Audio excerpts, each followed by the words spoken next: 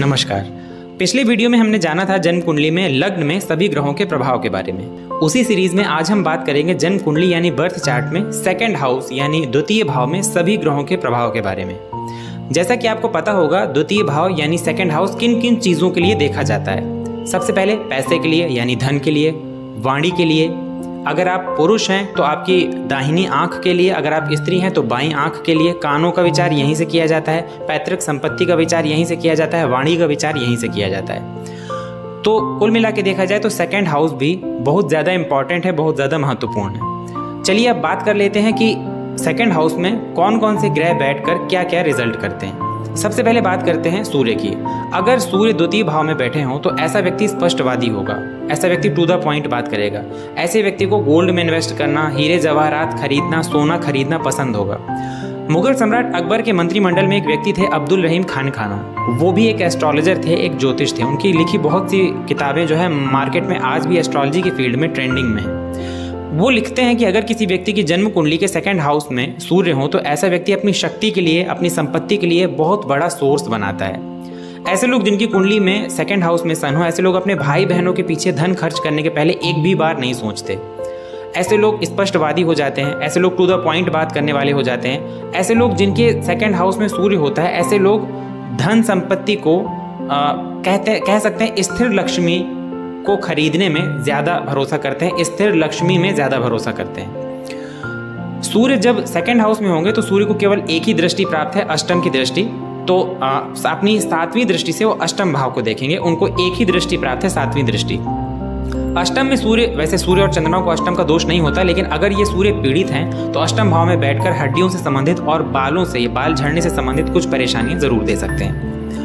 सूर्य की बात बात करें अगर चंद्रमा की तो मून यानी चंद्रमा एक ऐसा ग्रह है जो जिस भाव से संबंध बनाता है, उसमें वेरिएशन ले आता है। एस्ट्रोलॉजी में मानते हैं कि जो चंद्रमा होते हैं, यानी जो मून होते हैं, वो कभी पूरा नहीं होते, वो घटता बढ़ता रहता है, इस वजह से वो जिस भाव से संबंध बनाते हैं, उस भाव के प्रभाव में वेरिएशन ले आते हैं। इसीलिए किसी के बर्थ चार्ट में अगर इलेवेंथ हाउस यानी आय भाव में मून हो, चंद्रमा हो तो ऐसे लोगों को आपने देखा होगा कि उनकी इनकम जो है वो फिक्स नहीं रहती, कभी ज़्यादा, कभी कम।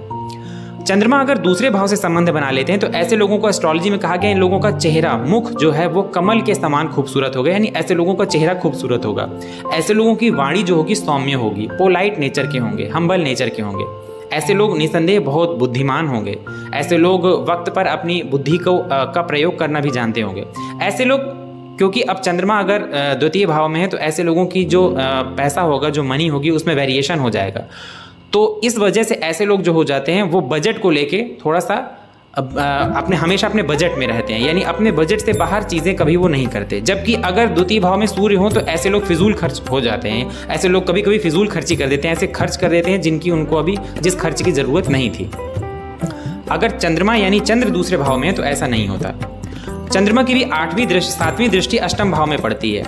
ऐसे में व्यक्ति को और तो कोई खास नुकसान नहीं होता, लेकिन कफ से रिलेटेड प्रॉब्लम गले से, गले के इन्फेक्शन से संबंधित प्रॉब्लम होती रहती है। अगर चंद्रमा पीड़ित हैं तो। अब चंद्रमा पीड़ित कैसे होते हैं? तो चंद्रमा पीड़ित होते हैं, डिग्री वाइज कमज़ोर हो, राहु या केतु की उनके ऊपर दृष्टि हो, सूर्य के साथ बैठे हों, इन कुछ कंडीशन में शनि की दृष्टि हो, शनि के साथ बैठे हों तो इस इस कंडीशन में चंद्रमा थोड़े से क्या हो जाते हैं? वीक हो जाते हैं। तो आपको ये ज़रूर देख लेना है कि चंद्रमा वीक पोजिशन में नहीं होने चाहिए। अगर सेकंड हाउस में वीनस यानी शुक्र हो तो ऐसे लोग देखने में बहुत सुंदर होते हैं। ऐसे लोग, कहा गया कि जिनके शुक्र लग्न में सेकंड हाउस में या ट्वेल्थ हाउस में हो, इन तीनों भाव में से किसी भी भाव में शुक्र हो तो ऐसे लोग इतने अट्रैक्टिव होते हैं कि समाज में इनकी अलग ही पहचान होती है। ऐसे लोग समाज में अलग अलग दिखाई देते हैं। ऐसे लोगों की जो वाणी होती है, ऐसे लोग संगीत में रुचि रखते हैं, ऐसे लोग अच्छे सिंगर बन सकते हैं, ऐसे लोग मिमिक्री आर्टिस्ट बन सकते हैं वॉइस ओवर कर सकते हैं। लेकिन यहाँ पर एक चीज़ ध्यान देने लायक है कि शुक्र जब भी सेकंड हाउस में बैठकर अष्टम में दृष्टि डालेंगे और अगर शुक्र कमज़ोर हैं तो उनकी सातवीं दृष्टि जो अष्टम भाव में पड़ रही है, इसको बिल्कुल अच्छा नहीं माना गया है। ये स्थिति भटकाव भटकाव की स्थिति उत्पन्न कर देती है। अष्टम में शुक्र की जो दृष्टि है, इसको बिल्कुल अच्छा नहीं माना गया। व्यक्ति को रास्ते से भटकने के लिए शुक्र जो है, यहाँ पर प्रेरित कर सकते हैं, ऐसी संभावनाएँ बढ़ जाती हैं। लेकिन इसके अलावा सेकंड हाउस में शुक्र को व्यक्ति को बहुत भाग्यशाली माना जाता है। व्यक्ति बुद्धिमान होता है, देखने में बहुत सुंदर होता है अट्रैक्टिव नेचर का होता है, वाणी उसकी बहुत मधुर होती है। धन संपदा, पैतृक संपत्ति भी वो पा लेता है। अब ये सारी चीज़ें डिपेंड करती हैं कि शुक्र आपकी कुंडली में कितने बलवान हैं। लेकिन अगर शुक्र कमज़ोर हो रहे हैं तो इन प्रभावों में क्या हो जाएगी? थोड़ी कमी हो जाएगी। बुध की बात करें तो बुध एक ऐसा ग्रह है जो अपना रिज़ल्ट बहुत जल्दी दे देता है। बुध अगर सेकंड हाउस में बैठा हो तो सेकंड हाउस से क्योंकि वाणी का विचार किया जाता है और बुध वाणी के कारक हैं, इसलिए ऐसे लोगों की स्पीच एकदम फ्लॉलेस हो जाएगी। ऐसे लोग अगर कोई बेकार सा टॉपिक भी आपके सामने डिस्कशन करेंगे तो वो आपको अच्छा लगने लगेगा क्योंकि उन लोगों के बोलने का तरीका ही इतना बढ़िया होता है। ऐसे लोगों के पास पैसा बहुत आता है, बहुत जल्दी ये लोग अपनी कम उम्र से कमाने लगते हैं। ऐसे लोग बहुत अच्छी स्पीच देते हैं, ऐसे लोगों का दिमाग तेज होता है सेंस ऑफ़ ह्यूमर बहुत अच्छा होता है। ऐसे लोग हाजिर जवाब होते हैं, उनके पास आपने कोई क्वेश्चन पूछा कि जवाब उनके पास पहले से तैयार होता है? ऐसे लोग थोड़े से नेचर में थोड़े से चुलबुले भी होते हैं। मून के साथ भी ऐसा ही है कि जिनका चंद्रमा कहते हैं सेकंड हाउस में हो, वो स्वभाव से थोड़े से चुलबुले हो जाते हैं। बुद्ध की सातवीं दृष्टि अष्टम भाव में पड़ती है। अगर बुद्ध यहाँ पर नीच के हैं, कमज़ोर हैं तो आठवीं, सातवीं दृष्टि से अष्टम भाव में देखने की वजह से ऐसे लोगों को हार्ट से रिलेटेड प्रॉब्लम होती हुई देखी गई है। तो आपको ये चेक कर लेना है कि अगर आपकी पत्रिका में बुद्ध सेकंड हाउस में है तो कहीं वो डिग्री वाइज या और किसी तरह कमज़ोर ना पड़ रहे हो। बुद्ध के बाद बात करें गुरु की। गुरु अगर सेकंड हाउस में हो तो अगर गुरु अकेले हुए तो भावनाश करेंगे, इसमें कोई दो राय नहीं, लेकिन इसके बावजूद। गुरु भले ही कितने ही कमज़ोर होकर किसी भाव में बैठे हो, लेकिन उनकी जो दृष्टि होती है, उसे अमृत कहा गया है। सेकंड हाउस में बैठकर गुरु अपनी पंचम दृष्टि से देखेंगे छठवें घर को, आपके रोग, रिपु और ऋण के घर को। इनसे आपको बचाने का काम करेंगे। अष्टम में दृष्टि डालेंगे तो अष्टम में आपकी, आपको ज्योतिषी बनाने का काम करेंगे। आपकी रुचि जो है वो गुप्त विद्याओं में होने लगेगी, आपको ज्योतिष अच्छी लगने लगेगी। ऐसी चीज़ें जो सारी दुनिया से या बहुत कम लोग उनके बारे में जानते हो, आपको जानने की जिज्ञासा होने लगेगी। हालाँकि कुछ पेट से रिलेटेड प्रॉब्लम भी गुरु दे देते हैं अगर वो अष्टम में अपनी दृष्टि डाल रहे हो तो। क्योंकि काल पुरुष की कुंडली में दूसरा भाव शुक्र का होता है, जहाँ दूसरा भाव, जहाँ दो नंबर लिखा होगा काल पुरुष की कुंडली में तो दो नंबर राशि है शुक्र की। इसलिए गुरु का यहाँ पे रिज़ल्ट काफ़ी कुछ शुक्र के ऊपर डिपेंड कर जाता है। अगर आप अपनी जो आपके लाइफ पार्टनर है, उनके प्रति आप लॉयल हैं, आपके आचरण अच्छे हैं, गुरु आपको बहुत बढ़िया रिज़ल्ट देंगे। लेकिन अगर आपके आचरण खराब हैं, आपका करेक्टर जो है अच्छा नहीं है, या आप कुछ ऐसे काम करते हैं, जो आपके करेक्टर को सुटेबल नहीं है, गुरु यहाँ पे आपका बिल्कुल सपोर्ट नहीं करेंगे इवन आपको उल्टा रिज़ल्ट देने लगेंगे। अष्टम में दृष्टि डाल के यहाँ पे कफ से रिलेटेड छाती से रिलेटेड प्रॉब्लम होने लगेगी। ऐसे लोगों को ऐसे लोगों को आ, कह सकते हैं कि अगर अष्टम में दृष्टि पड़ी तो पेट से संबंधित छोटी मोटी परेशानियाँ लगी रहेंगी। और अगर आपका शुक्र अच्छा है या आप शुक्र के आपका आचरण अच्छे हैं आप दूसरों से बहुत अच्छे से बात करते हैं आप लेडीज़ जो होती हैं खास तौर पे स्त्री जाति होती हैं उनसे आप बहुत अच्छे से व्यवहार रखते हैं अपना उनका अपमान नहीं करते। अपने घर की लेडीज़ का आप अपमान नहीं करते। और शुक्र आपके अच्छे हो गए तो गुरु यहाँ पे डेफिनेटली बहुत अच्छा रिज़ल्ट देंगे। पांचवी दृष्टि डाल के, छठवें घर में पांचवी दृष्टि डालेंगे, रोग रिपु ऋण से छुटकारा। सातवीं दृष्टि अष्टम भाव में डालेंगे, आपको आठवें घर से आकस्मिकताओं से जो आपके नुकसान होने वाले हैं, उनसे बचाओ। और नौवीं दृष्टि डालेंगे, टेंथ हाउस में, जो कि आपके कर्मा का है, वहाँ पे आपको कार्य क्षेत्र में नीचे से उठा के ऊपर पहुँचा देंगे। लेकिन कंडीशन यही है कि आपका शुक्र आपके द्वारा और आपकी कुंडली में अच्छा होना चाहिए। मंगल की अगर बात करें मंगल द्वितीय स्थान में तो दूसरे भाव में मंगल जो है बहुत अच्छा नहीं कहा गया मंगल को दूसरे भाव में। ऐसे लोगों को कहा गया कि जिनके दूसरे भाव में मंगल होते हैं ऐसे लोगों को बहुत ज़्यादा मेहनत बहुत ज़्यादा संघर्ष लगता है सफलता प्राप्त करने के लिए। ऐसे लोगों की भी जो वाणी होती है वो बहुत आ, कह सकते हैं हार्श हो जाती है। ऐसे लोग जिसने जैसे आपने देखा होगा कि उन लोगों को अगर कोई व्यक्ति आपके सामने कभी कभी ऐसे व्यक्ति से भी आप मिले होंगे जो आपके सामने कुछ बोलेगा तो ऐसा लगेगा कि ये बोल रहा है या डांट रहा है। ऐसा मंगल के साथ होता है। क्योंकि मंगल की भी सातवीं दृष्टि अष्टम भाव में पड़ती है और अगर अष्टम भाव पीड़ित है अष्टम भाव में पहले से शनि या राहु में से कोई बैठे हैं तो 100 परसेंट ऐसे इंसान के लाइफ में सर्जरी ज़रूर होगी और आ, कई बार दुर्घटनाएँ या एक्सीडेंट होते हुए भी देखे गए हैं। हालाँकि दूसरे भाव में मंगल बैठ के धन के लिए अच्छे होते हैं चौथी दृष्टि पंचम भाव में डालते हैं इस वजह से व्यक्ति बुद्धिमान होता है लेकिन फिर भी इसमें नुकसान ज़्यादा बताए गए हैं फ़ायदे कम बताए गए मंगल पीड़ित बिल्कुल नहीं होने चाहिए। अगर मंगल के ऊपर कहीं से गुरु की दृष्टि पड़ रही है तो इन सारे चीज़ों में गिरावट हो जाएगी, इन सारी चीज़ों में बदलाव हो जाएगा।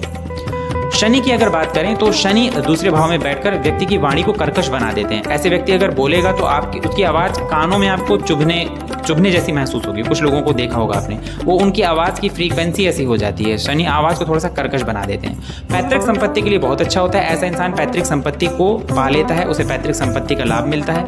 यहाँ पे शनि तीसरी दृष्टि डालते हैं। चौथे घर में जो आपकी माँ का घर है, माँ को इसमें नुकसान होता है। माँ से संबंध विच्छेद होने की संभावना बढ़ जाती है। माता को अर्थराइटिस वगैरह की प्रॉब्लम कभी कभी शनि दे देते हैं। सातवीं दृष्टि से देखते हैं, अष्टम भाव को यहाँ पर इंसान का जो है जादू, टोना, तंत्र, मंत्र, ज्योतिष, इस साइड भयानक तरीके से खिंचाव हो जाता है और वो सीख भी लेता है। सबसे बड़ी बात तो ये है कि वो सीख भी लेता है।